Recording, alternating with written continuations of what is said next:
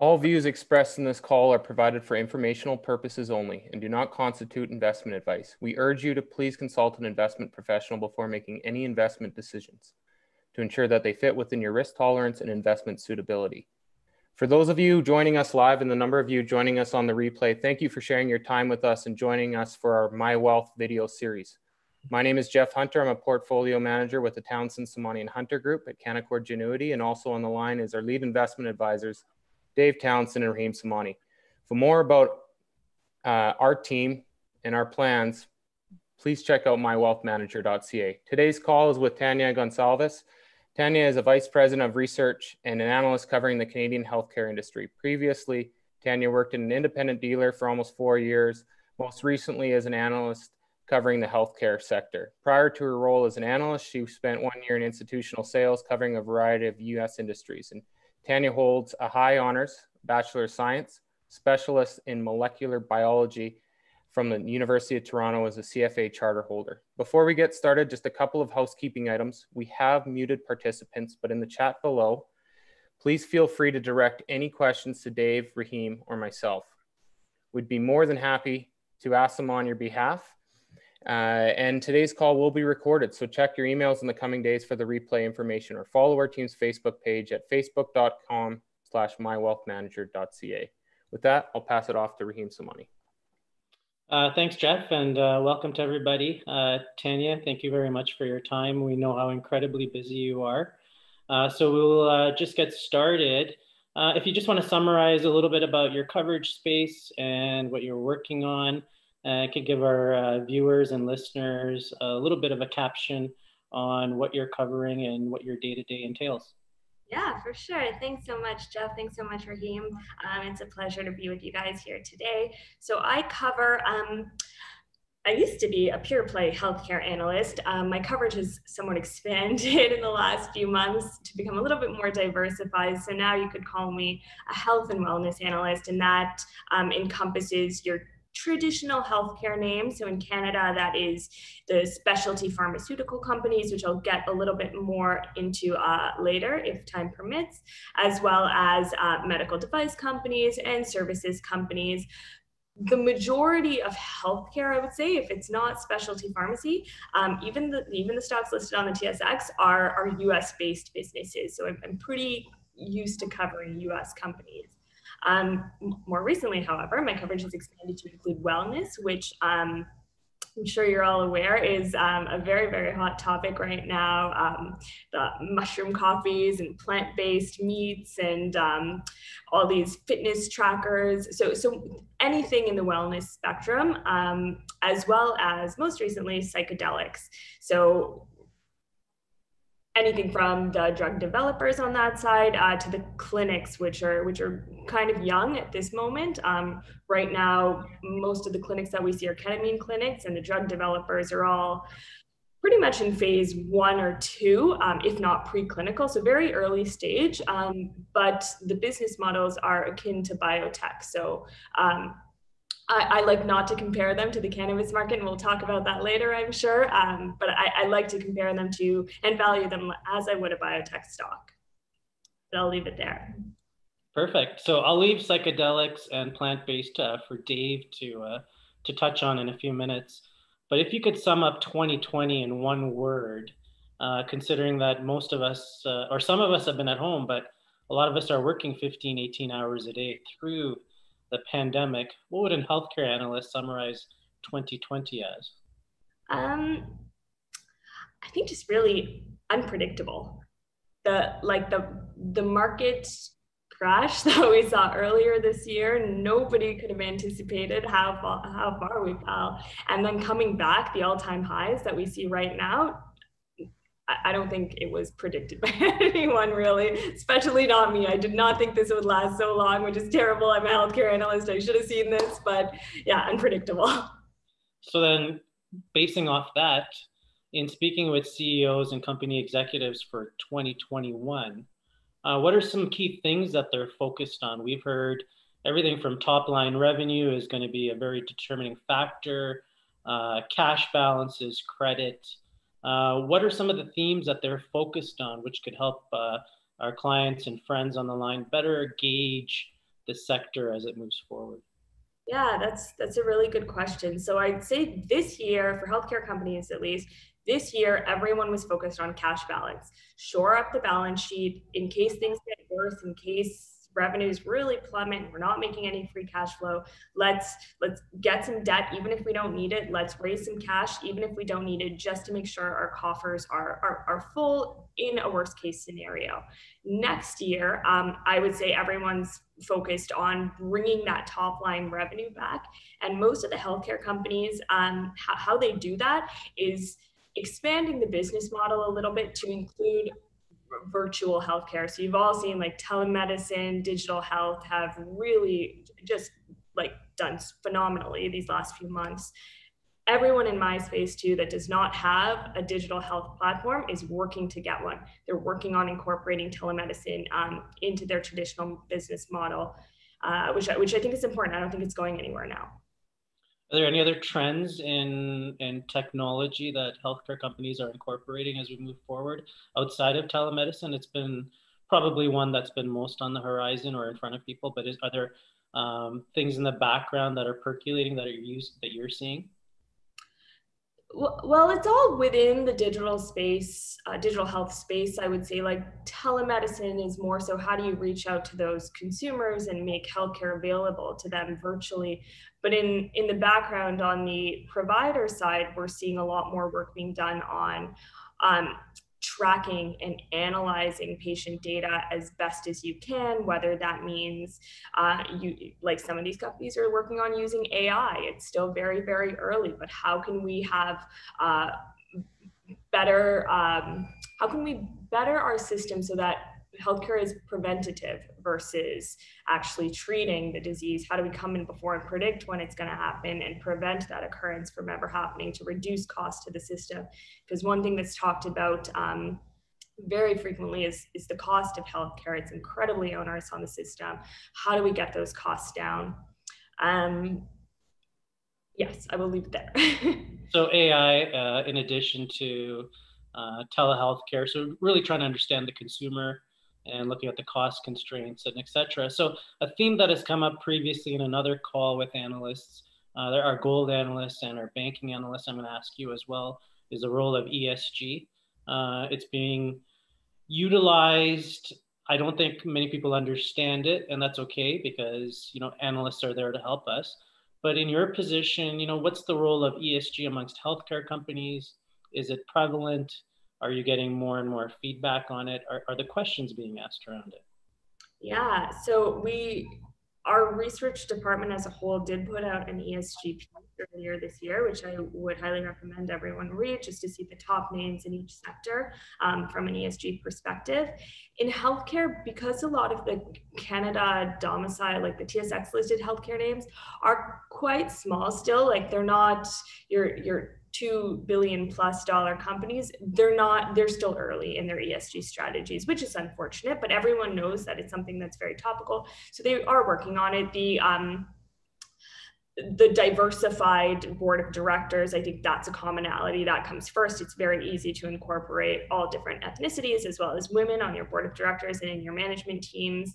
What is a little bit slower is how how do we incorporate that E of ESG, the environmental, into our business models, especially if you're a specialty pharmaceutical company what can you really do from an environmental perspective? Maybe you can make your packaging a little bit more environmentally friendly, but there's not a, a lot of obvious things that you can do. Um, so, so, working on like char- charitable donations, things like that are front of mind. Those are easy to, to implement right away. On the wellness side, however, that's much easier. So companies um, like Burcon, which is a company I cover, environment that environmental aspect is very big to them. They they have a jv uh, partnership this company called merit which is going to be the, the first producer of canola protein and the commercial producer of canola protein in the world. They're developing uh, producing pea protein out of this facility as well. That plant is expected to be carbon neutral i believe by 2022 so that's a big focus of theirs. Um, Jamieson as well is working on reducing the cost Jamieson Wellness is, is the vitamin company, reducing uh, packaging, so the environmental impact of their packaging, as well as looking at what kind of manufacturing processes they can put in place to be as environmentally friendly as possible. And they also do a lot of charitable work. So the wellness companies, I would say, are a lot further along than the healthcare companies are. That's some good perspectives. And, and in your coverage universe, uh, how many companies do you currently cover? Um, oh, that's a good question. I believe it's 13. I just joined a year ago, so I've been in ramp mode. It's constantly changing. And I, that's that's good. Your your your space is growing, and your profile has definitely grown. And out of that coverage space of 13 companies, can you highlight maybe one or two that you believe are, I'm, and we're not going to hold you to it, like our top picks, but are most exciting uh, in terms of watching their development, uh, especially over the last year, because companies have had to pivot, navigate, and move forward. Um, what are the companies that are moving into 2021 that have you most excited? Yeah. Um, so very topical, good timing. Our department just put out a top pick report this week. So my top pick highlighted in that report was a company called Burcon Sciences, which I uh, previously mentioned. They are um, a developer. So they're more so an R&D company. They develop plant-based proteins, and these are proteins that can be used in plant-based milks. They can be used in plant-based ice creams. They can be used in plant-based um, meat products. So, for instance, Beyond Meat Burger, that that product uses pea protein in it. Um, they do not produce soy because soy, as we know, has a lot of negative headlines around it. People are trying to consume less soy. So they are very much so focused on pea and canola to begin with. Um, like I said, they are an R&D company, but they partnered with some gentlemen who, who came from the hemp seed world and have had good success in commercialization before. They two of them founded uh, or were executives at Manitoba Harvest. So if any of you use Manitoba Harvest products. I know I do in my smoothie every day, so that was nice to see someone um, whose, whose name I recognized. So they, they formed this JV called Merit Functional Foods, and Merit um, is building a brand new protein production plant. So they take raw um, yellow peas, raw canola, and process that into protein isolates. And one of the, the really interesting things about this is there is a massive supply demand imbalance today like I think um, when Beyond Meat wanted to launch their their burgers in Europe, one of the things that delayed that timeline was the fact that they could not get access to sufficient quantities of pea protein. That's been the bottleneck for a lot of these plant-based food companies. Um, so having a brand new plant come online to help with that supply demand imbalance, I, I think it's going to ramp up right away. Um, this plant is slated to start producing protein and start generating revenue jan- in January, so very, very near term. And there's been a lot of hype around this stock um, through the year, just in, anticip- in anticipation of that. It's up, I believe, about 200% year to date already. Um, you had Nestle sign on as a customer. You had the Canadian government um, lend a bunch of money to the company. So I think they they got, including the Canadian government grants and debt, as well as some private financing. They they were able to raise almost $100 million this year. And Trudeau even spoke about the need for new plant proteins and mentioned merit in one of his talks. So it really brought Canadian eyes to the story. And it is Canadian, it's based in Winnipeg, um, use Canadian ingredients, processed in Canada. So a very a national, something to be proud of here in Canada. Um, and then they also got a $30 million investment by a company called Bunge, which is a multinational giant agribusiness. So having someone like that back them who has really a really global focus and like long-term expertise in in commercialization, um, supplies the raw input, buys the end product. I think it makes sense for them to end up acquiring that, acquiring Merit down the line, which I speculate could happen next year. I've speculated that in my research. Um, and I think if that happened, that would be really, really exciting and, and great, a great catalyst for Burcon. Fantastic. So there's an enterprising Canadian story that's just in our backyard and uh, making phenomenal inroads. Uh, Dave, I'll turn it over to you. Uh, I know uh, plants and psychedelics are of key uh, note and themes that people have been looking forward to for this call. So I'll let you take it from here. Fine. Thank you very much, Raheem. Uh, first of all, Tania, thank you very much for your time. I'm kind of looking at this sector and going, do we do we take this into three buckets on the psychedelic side? Like we have the clinics which are going to be one, you know, aspect of business, uh, like field trip. And then we have people that are developing psychedelics for certain indications. So we have we have uh, Compass, and we have those people that are going the conventional route to displace big pharma in you know what I believe are, are incredibly huge markets for depression, PTSD, right? And the third is actually producing. Right? Am, am I right to look at this in in and sort of focus? These companies seem to have different, but you know, very very focused business plans. Yeah, yeah, no, I think I think that's completely accurate. I would actually maybe even create a fourth bucket there that is the recreational uh, market. So your your nutraceuticals and the guys who are going into kind of gray areas like the Netherlands and Jamaica and and not legally um, selling these products. Very interesting. So you you believe what do you think that the path is going to be here? We've seen this. Are we going to see the path in America? So the rest of the world's one thing. So, you know, looking at phase two, phase three conventional trials that are being done by so many, uh, oh, you know, like they, they, we're starting to get some real interesting traction and interesting indications. Like, where would you like? We cover Compass. I know you don't cover Compass, but where do you think is where, where are you seeing the interest? Because you're taking the inbound institutional calls and they're asking you the same thing. Like where do i put my money? Like where is the best bang for the buck? Like where do you think this whole thing goes? And what are the institutions really targeting here?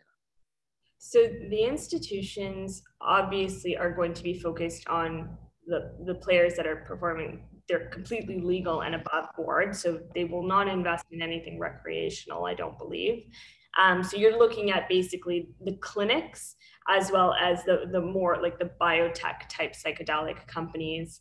Um, and, and I would say that the, to me, in my opinion at least, the better business model today are the drug developers versus the clinic companies. Um, and why is that? So the drug developers, they're targeting a market that we have previously speculated is worth around $100 billion globally. And these are, this is valued as what is the market for antidepressants, anti-anxiety medications, all those drugs that, those chronic drugs that are treating this addressable population today. Um, these are drugs that you're on for the rest of your life.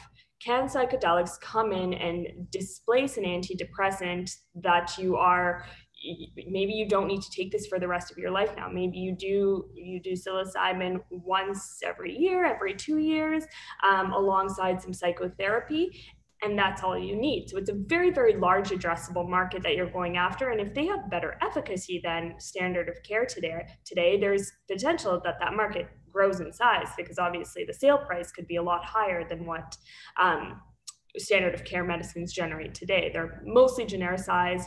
There's been very little innovation in the space. Um, they've been around for ages, so cost is quite, it's like a few dollars a day. It's, it's very, they're very affordable medications.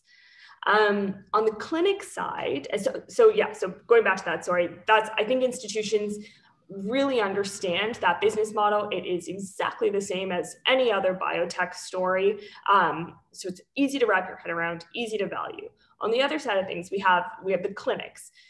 So the clinic chains, I would say, are they're almost entirely float focused on ketamine today because ketamine is is legal. It can be used as an anesthetic, um, and most recently J and J's drug called Spravato was approved for for depression as well. So you can you can use Spravato in these clinics. Now we've seen ketamine clinics pop up all over the U.S. They've just mushroomed, pardon the pun. Um, but I think the DEA will crack down on that because a lot of the ketamine is an off, it's off label unless you're using Spravato.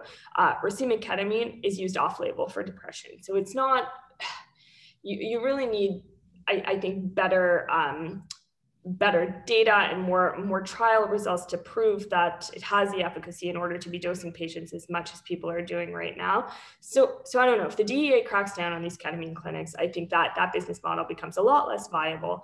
And i i do agree with with the idea of building out a network of clinics and training therapists to administer psychedelics.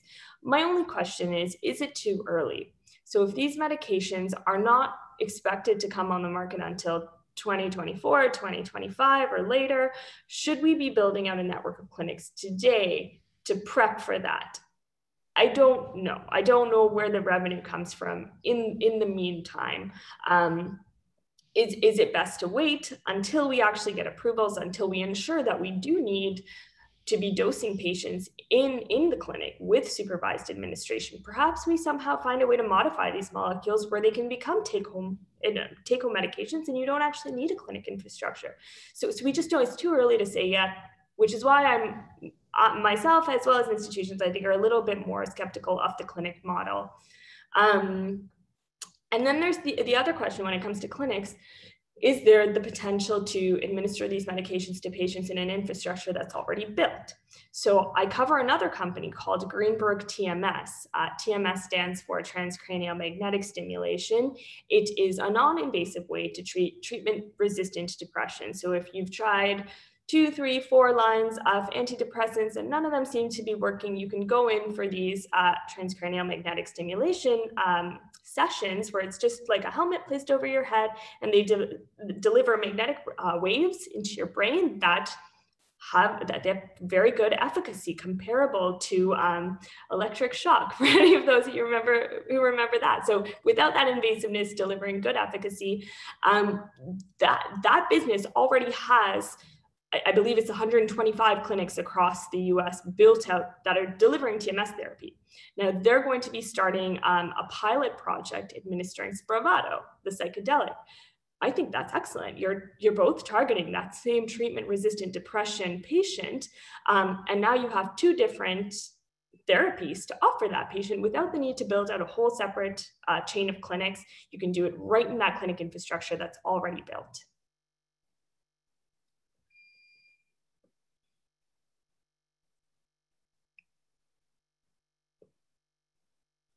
You have any other questions, Dave?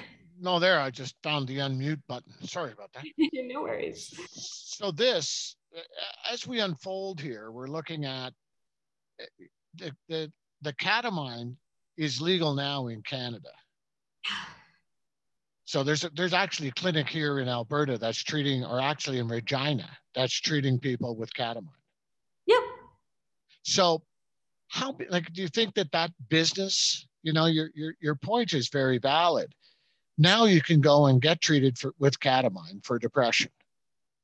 So I guess the question is, how big is that market? How big is that addressable market? And is it only to people that are, uh, uh, uh, what do they call it? Uh, they're not, uh, they don't respond to normal to, to regular prescription antidepressants, right? They're antidepressant resistant, I guess is what you say. Yes. So that I, I, will say that, like I said before, the, the ketamine clinic market has really exploded in the US and in Canada. They're all over the place. Mm-hmm. The problem with these medications is ketamine, J&J's version of ketamine called Spravato has been FDA approved and they're working on reimbursement right now. So if you can, you can get um, CMS to approve your drug, if you can get private insurers to approve your drug, if you can get Health Canada, um, to not Health Canada to approve the drug, as well as the, the provinces to um, reimburse it, to list it on their formulary, then great. I think there's great adoption of that. There has been a problem for J&J to get widespread reimbursement for their drug because it is so expensive. You're paying anywhere from 20,000 to 30,000 a year just for the drug, not including that facility fee and that administration fee. So if, if I'm not reimbursed for this, am I going to walk into a clinic and pay, pay that amount of money out of pocket for this drug? Probably not. Um, ketamine, on the other hand, so the unapproved version, ket- racemic ketamine, um, this is what we're mostly seeing at all these clinics that are that are popping up. Now the problem with that is racemic ketamine has not been approved to treat depression. It is being prescribed off-label for depression. Um, so if I go into a clinic and I say I have depression, can this doc give me a prescription for it? They might be able to. My insurer might reimburse it. I, like there could be loopholes. For the most part, though, you're probably not going to get reimbursement. You're probably going to have to pay out of pocket. These sessions can cost uh, uh, probably like around in the range of $500 a session, and you might need them weekly to begin with. Not as expensive, not nearly as expensive as J&J's drug, but still, but still pricey. Or would I rather just take my, my normal antidepressant or try something like TMS that is reimbursed, that my insurer will pay for, that I don't have to pay for out of pocket? I think it's a lot more, that's, that's going to be the path that most patients take. Patients traditionally don't like to spend, uh, pay for these medical bills on their own when they can get alternative um, insurance coverage. So I, I don't think the market for ketamine is, is that big. I think the best path for these psychedelics to take is to go through FDA approval and then seek reimbursement. Once you get public and private reimbursement, that's when the market potential becomes enormous and you believe we're really into 2024.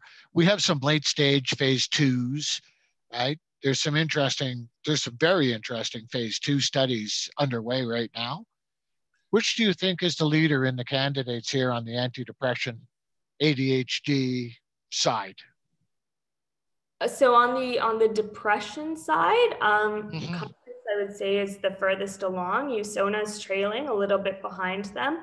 Usona is going after a bigger market. So whereas Compass is targeting uh, treatment resistant patients, so these are patients who have tried, um, I believe it's at least two courses of antidepressants. And if you're a third line or later, you can take to Compass's drug.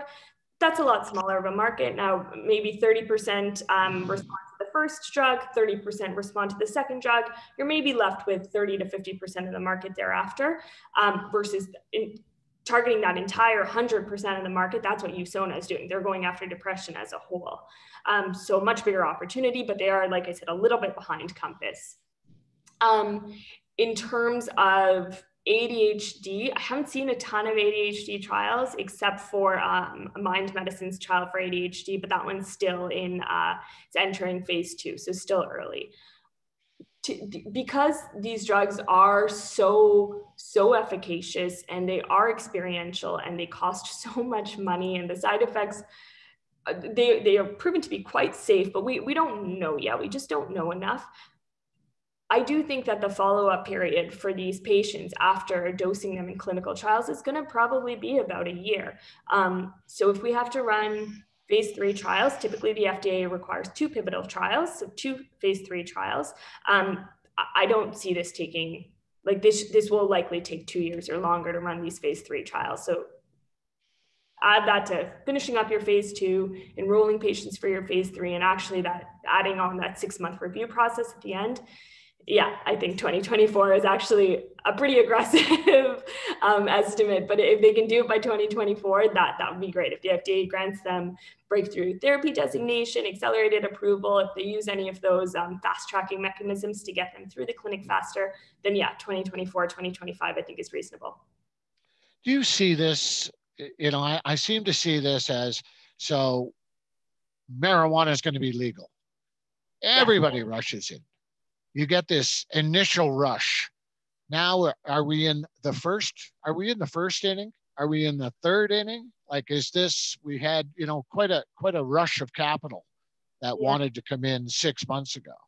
Now we're right in the middle, right, of of experiencing another massive rush of capital coming into these stocks. Mm you know like we're we're obviously I, you know the, the cart is in front of the horse here to to use an old expression. You know now we're going to have to pay catch up are we just going to have a you know i'm not asking you to predict the market but it just feels like we're going to have a series of rushes and you know mass enthusiasm and then not so much enthusiasm I agree. So I think the sentiment around the space is so is so hyped up right now because one, mental health is on everyone's mind coming out of this pandemic. You've seen script numbers for, for antidepressants, for anti-anxiety drugs just skyrocket. Um, the, the prevalence rates are just they're going up very rapidly. So we all know coming out of this pandemic, there's going to be a lot bigger of an addressable market to, to, to treat which is why I think people are so, and not just psychedelics, all mental health companies, I think, are doing, everyone's eyes are on them right now.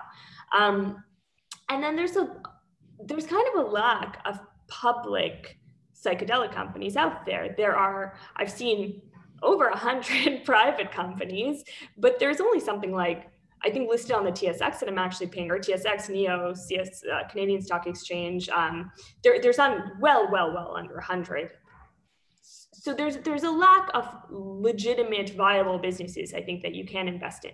So the ones that actually make sense like the compasses of the world who are already in clinical trials money just piles into them. Um, i i do not think this and I'm, I'm biased of course i'm a healthcare analyst. Um, i do not think this market should be compared to cannabis whatsoever. It is not the same at all apart from the fact that these are both they started off as illicit drugs. I think that's the only commonality. Um, cannabis does not cause the same physiological effects as psychedelics do. The same way that someone could smoke a joint and walk walk to their friend's house, fine, that's perfectly safe.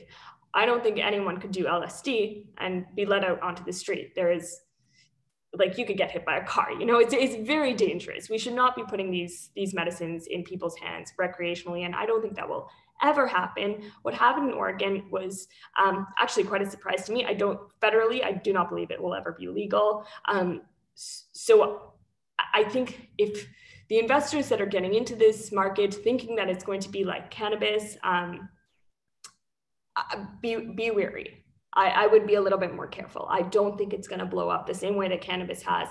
I think it might at the beginning keep going, keep running like this. And when people realize, wait, these drugs are all taking the FDA path to, to approval, this is actually going to take four plus years to, to reach revenue positive. And even when we do, it's going to be incredibly regulated. Um, we'll probably see a correction. That's good advice. That's good advice. To switch gears back to, I watched your uh, uh, the presentation you did, the day long presentation, the conference, and I'm looking at these things. Uh, uh, the very good food company came out of Western Canada. We're seeing such a plethora of alternative food companies. Yeah. And it must be fascinating to see this industry start to bloom. Yeah, right? absolutely. It's but something- how much of, how much of this is really healthy? Like I've talked to people that are are very very conscious of diet. Yeah. And a lot of this stuff is really not that healthy, according to them. You know, I'm, I'm one of those people. I'm one of those people that goes to the grocery store and reads every single ingredient and everything I'm buying. So when I got pitched the idea of moving to Canaccord to cover wellness, I was very enthused by it. Um, I agree a lot of these products are healthy. like the the plant the most i'm not, I'm not going to name names but some of the most popular plant-based burgers and hot dogs have really terrible ingredients in them um, however i don't think we're just catering to those the health conscious population. We're also catering to the environmentally friendly population who cares that um, we can't keep eating meat because it takes a much bigger environmental toll. We we like think about the the land that it takes to for to raise cows the the land the water that they consume. It, it's a lot more environmentally friendly to put plants in your burgers versus meat. Um, and we're catering to the flexitarians too. So not just those people who are not just the, the vegetarians the vegans but also this new class of, eaters who, who want to blend their diet. So I can be labeled as a flexitarian. I eat meat usually just on weekends, and I reserve my weekdays for for for veggies. And whether it's healthy or not, like obviously yes, I'd, I'd like to eat something healthier. But if I'm craving a burger on a weekday, um, will I have a Beyond Meat burger without thinking about what's in it? Possibly, yeah. Um, so I, I don't think we need to look just at the health aspect when you are looking at these companies though, so I've seen an abundance of plant-based meat companies out there. Um, the, the demand is there, so it absolutely makes sense.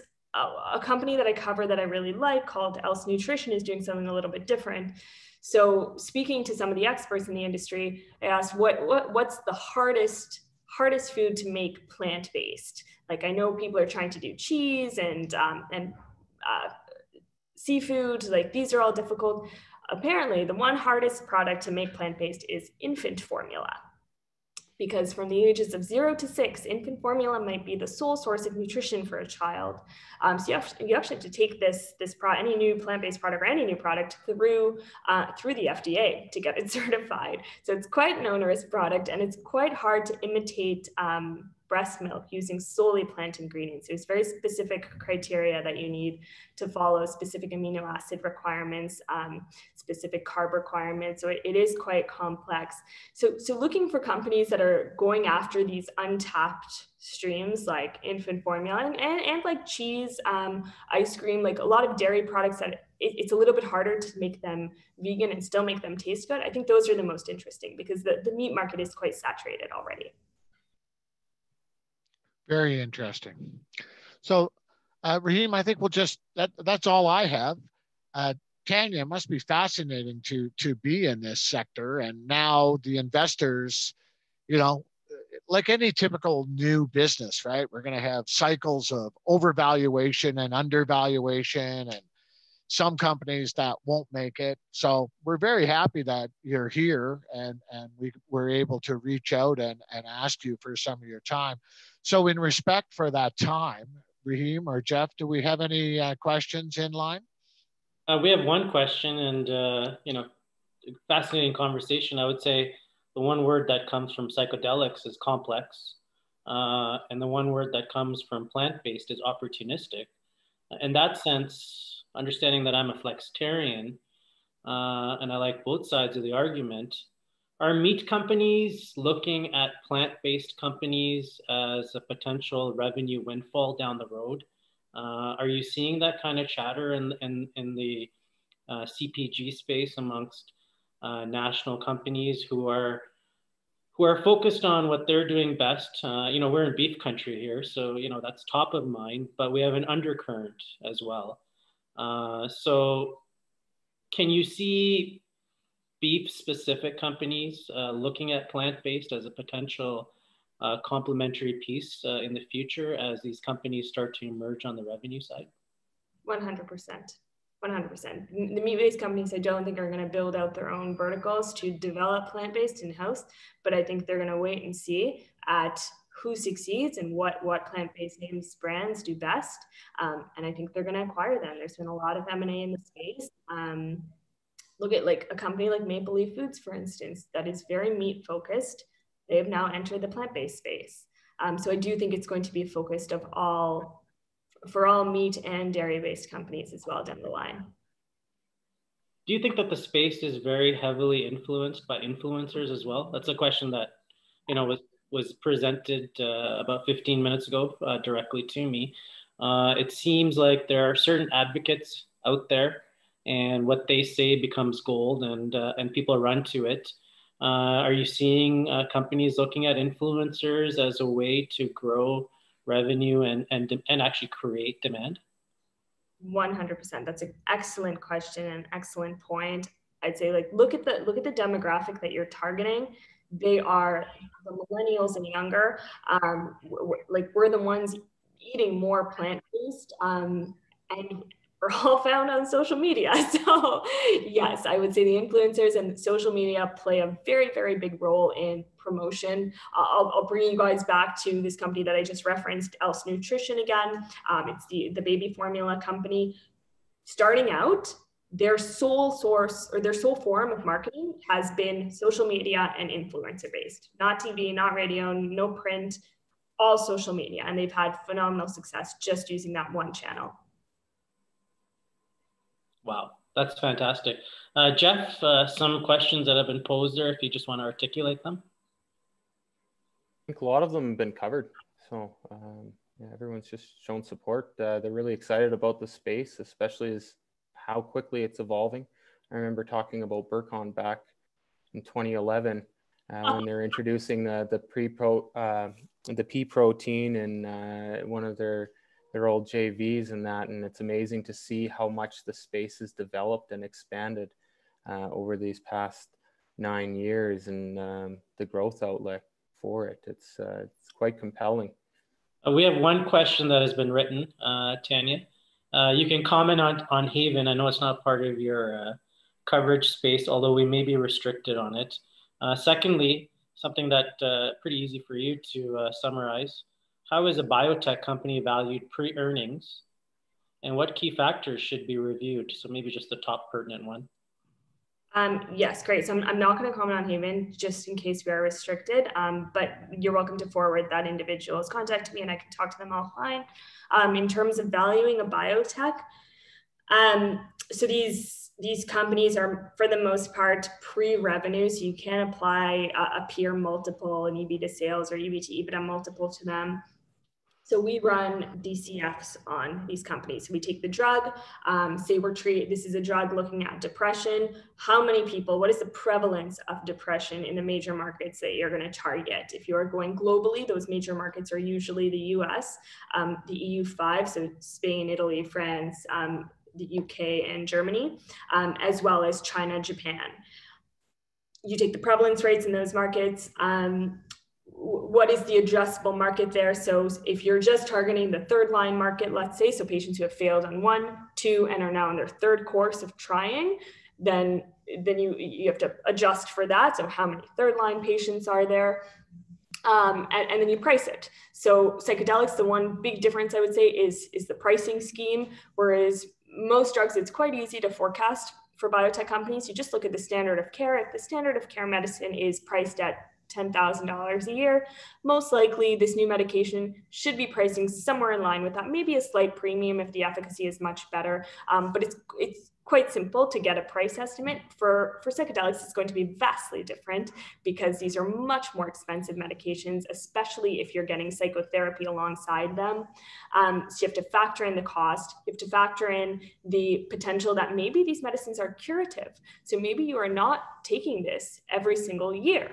Um, maybe you just need it once. Maybe this is a shrinking market now. So you have to factor in all of these things. And, and then you can kind of get a sales estimate um, and then bring that sales estimate back to present value. Um, typically, biotechs are use a, a, cost of capital anywhere in the range from let's say 10 to 12 percent depending on how risky it is. Um, and then after you get that present value you want to further risk adjust that that down by what phase of development in it is it in? So if we look at a phase one drug for instance that drug has maybe a 10% chance of actually making it to commercialization so if I think that stream of cash flows is worth $100 billion, I'm going to risk adjust it down by 90% to only be worth $10 billion because that, there's only a 10% shot if it actually making it. And then you can add in, add up all the costs or all, all the present values of those drugs to get an ultimate valuation. So not, so not so simple. So I, I think we'll leave it there and uh, we really appreciate your time. Uh, happy holidays to you and uh, maybe we can have you back in uh, 2021 and uh, start to talk about an emerging economy uh, post-pandemic uh, and see where things are going and then see how big your coverage universe gets by then. Yep, absolutely. I would love that. Right. Thanks. Thank you very yeah. much, Tania, and the best of the season. Well. Thank you. Take care, guys. Thank you all for much, attending. everyone. And Thank you all for, for attending. today look in your email in the coming days uh, for the replay information. And when you're thinking about your wealth, think my wealth, think my plan, and think my portfolio at mywealthmanager.com. Coming early 2021, stay tuned for more. Have a great day, everyone, and enjoy the holiday season. Bye for now.